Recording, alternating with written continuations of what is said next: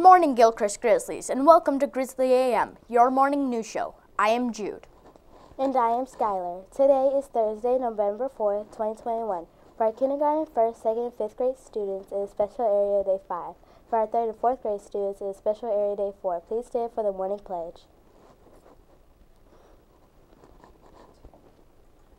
I pledge allegiance to the flag of the United States of America and to the republic for which it stands, one nation, under God, indivisible, with liberty and justice for all. And now for the news. Veterans Day is Thursday, November 11th. Next Wednesday, we will be honoring our local veterans here at school with a drive-through parade. This is a chance to thank these brave men and women for their service to our country and our community. Now it is time for our October Grizzlies of the month in second grade. Ooh, it's something magical. It's in the air, it's in my blood, it's rushing on. I don't need no reason, don't be control. I fly so high, no ceiling when I'm in my zone.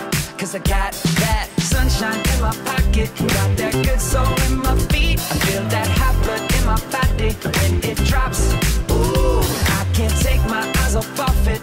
Moving so phenomenally. You're more like the way we rock it.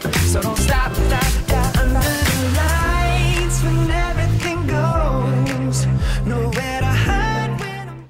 Now it is time for the Principal's Corner with Mr. Crow.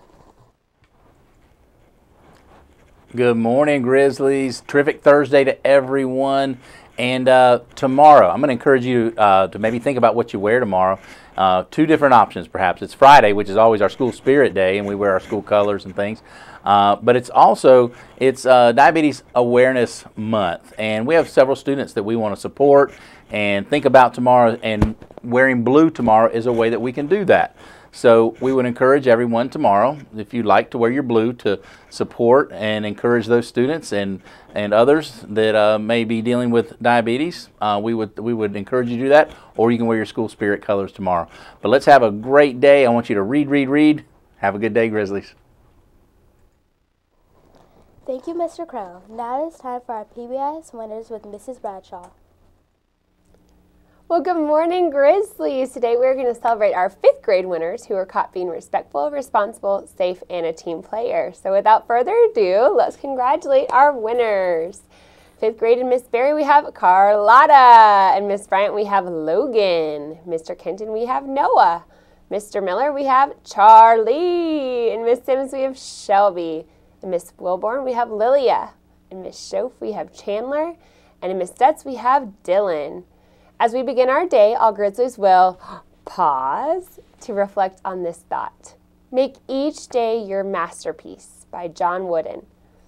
Your teacher will begin the morning meeting after our moment of silence. Have a great day, Grizzlies. Thank you, Mrs. Bradshaw. Please join us again tomorrow for another edition of Grizzly AM. Have a great day. Bye.